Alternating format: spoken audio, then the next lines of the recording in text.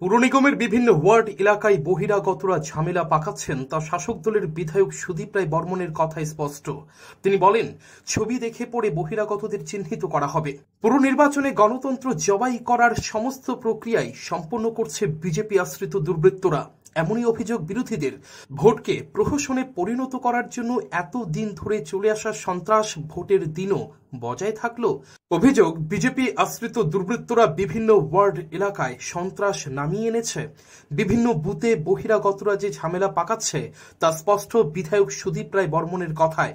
তিনি জানান ওনার কাছেও বিভিন্ন অভিযোগ এসেছে। এই অভিযোগ ইভিএম এর সামনে দাঁড়িয়ে থাকছে দুর্বৃত্তরা।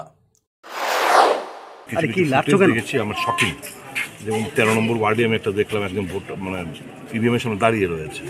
এখন শুনলাম ওই এক্ষুনি ফোন এলো যে বিটার বনের ভিতরে দুটো পুলিং বুথ এখানে ক্যান্ডিডেটের ছেলে দাঁড়িয়ে আছে একজন ক্যান্ডিডেটের ছেলে।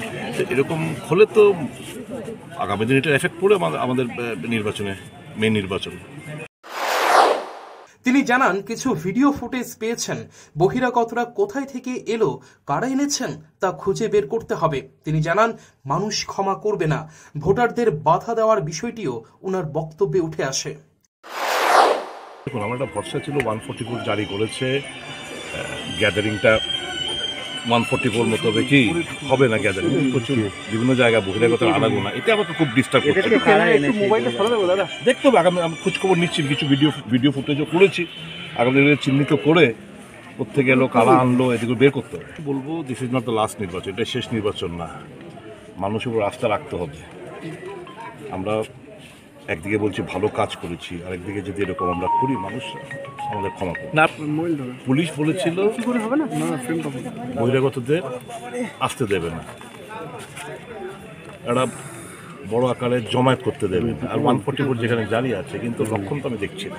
রাজ্যের মানুষ আমার নিজের দল সকলেই নির্বাচন একটা শান্তিপূর্ণ পরিস্থিতি পরিবেশে সম্পন্ন হয়েছে।